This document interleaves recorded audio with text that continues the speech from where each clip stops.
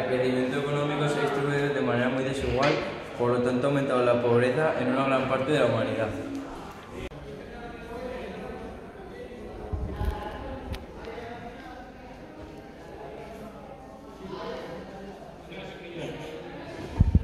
El crecimiento de pocos es debido a que las empresas compran bastantes productos al mismo precio y los hacen vender a un mismo precio y así se crea un empobrecimiento de muchos.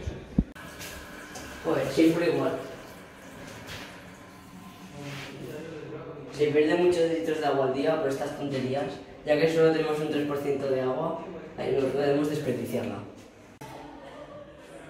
Y por último y no menos importante, reciclar, que solo tenemos un planeta, hombre.